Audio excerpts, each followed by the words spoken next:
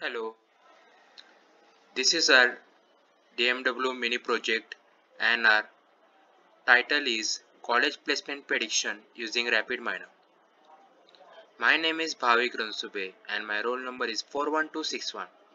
My team members are Adesh Adeshok 41249, Gaurav Zanpure 41275 and Ritvik Pujari 41259. Now let's move to RapidMiner. Now here we have imported our data and placed it in the local repository data section. Our data has been taken from Kaggle.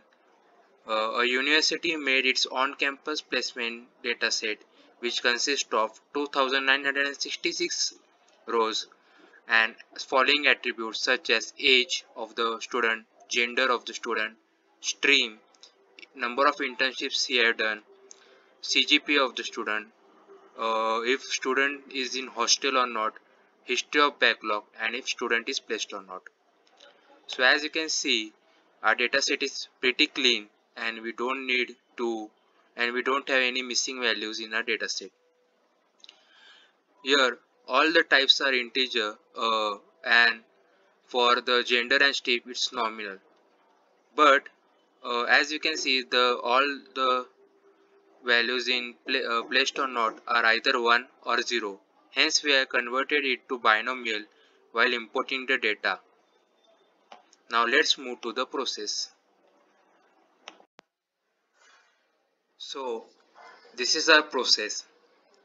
So first we have used the retrieve operator. So just we need to drag and drop the college placement data in our process. Second, we have used subprocess.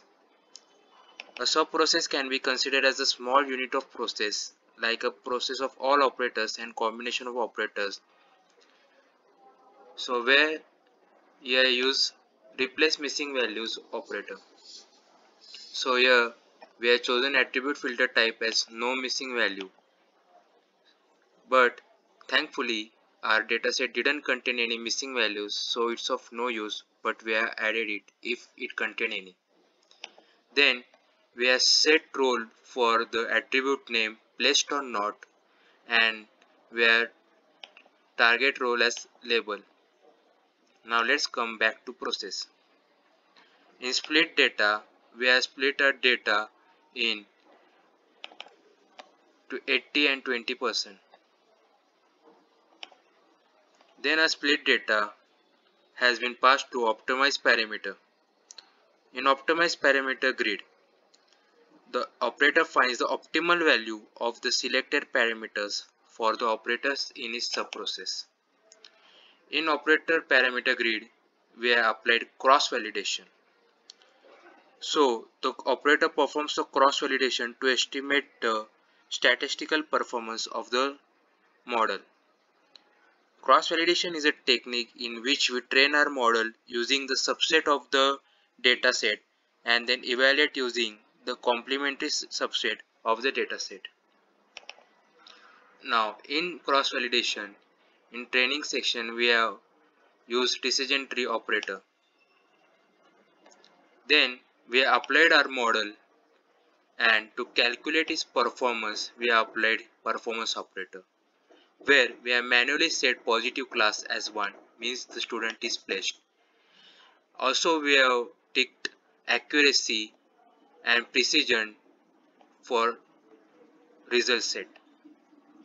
Now let's come back to process. The remaining 20% of the data set has been taken for validation. Same similarly we applied model to that and to calculate performance is same for as that of the trained model. Similarly, we have set manually class as 1 and for result set where we want accuracy and precision of that model. Now let's run it.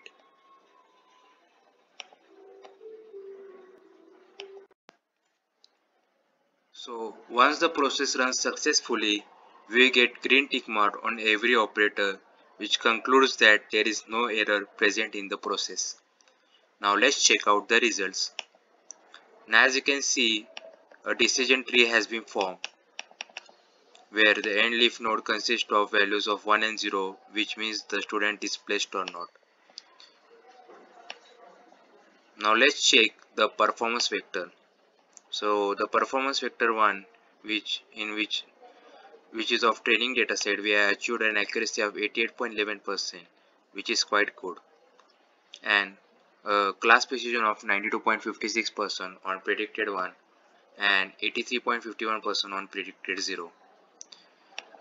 Now similarly for the validation dataset we are received an accuracy of 87.69 which is quite near to that of the training dataset and here we have received class precision of 92.36% and 0 of 82.88%.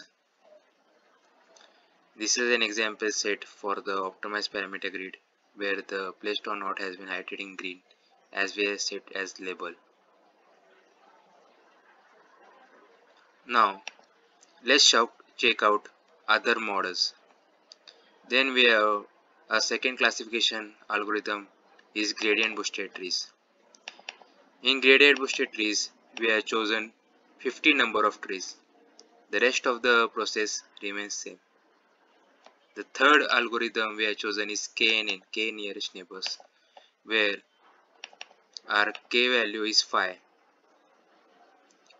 The fourth algorithm we have chosen is Bayes and this is our Bayes operator.